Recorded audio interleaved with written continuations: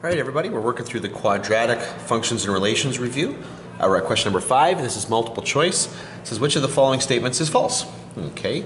Uh, the first one says, the zeros of the function x squared plus 4x minus 5 are the roots of the equation x squared plus 4x minus 5 equal to 0. Well, that is true.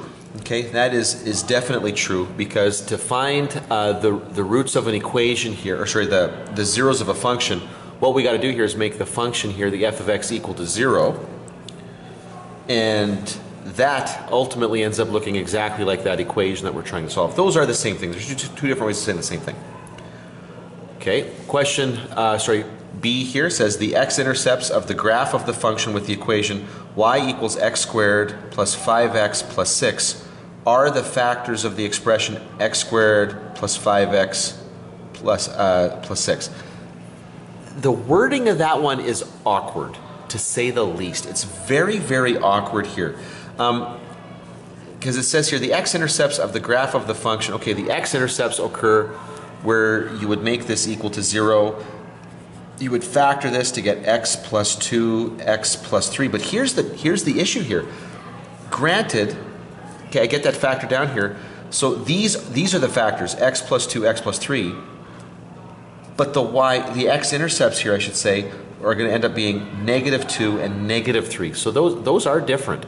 So this really is looking like the one that's wrong. But let's keep on looking here just to, to make sure that we're, we're not missing something. It says if x equals 3 is the root of the equation, f of x equals 0, then x minus 3 is a factor.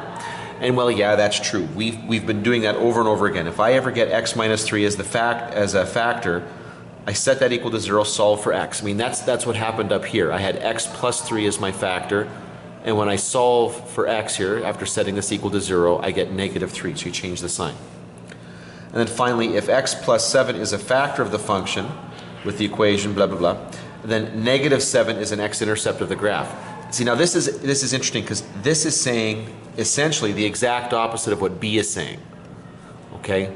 Uh, so it's this one, in this case here, negative 7 is the x-intercept. So then um, x plus 7 is that factor. So they're not exactly the same here. That's true. So the answer is definitely that B is the false, the false part of that.